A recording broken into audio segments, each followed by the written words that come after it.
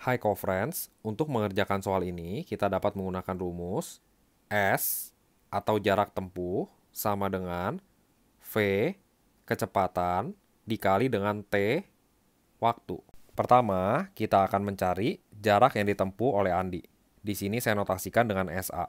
Sama dengan kita gunakan rumus yang di atas, kecepatan motor Andi adalah 90 km per jam dikali dengan waktu yang ditempuh oleh Andi adalah 6 jam. Maka jarak yang ditempuh oleh Andi adalah 540 km.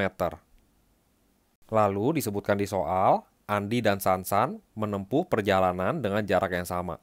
Artinya 540 km ini adalah jarak yang ditempuh oleh Sansan. Di sini saya notasikan dengan SS. Selanjutnya, diketahui perbandingan kecepatan mengendarai sepeda motor Andi dan Sansan, artinya adalah VA berbanding dengan VS adalah sama dengan 6 berbanding dengan 4. Lalu kita masukkan angkanya, VA adalah 90 km per jam dibagi dengan VS yang akan kita cari sama dengan 6 berbanding dengan 4.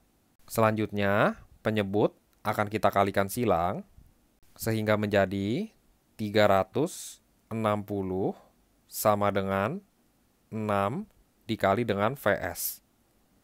Lalu kedua ruas dibagi dengan 6, maka didapatkan VS adalah sama dengan 60 km per jam.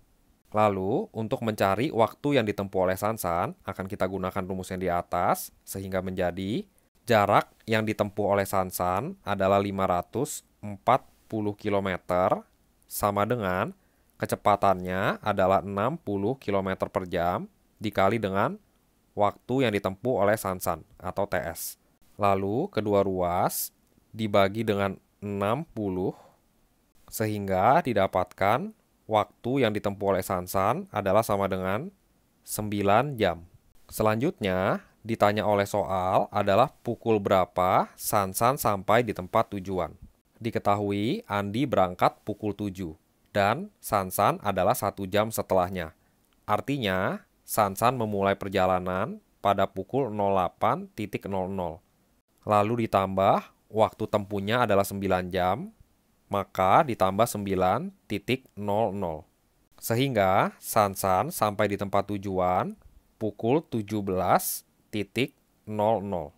Jawabannya adalah pilihan C. Sampai jumpa pada pertanyaan berikutnya.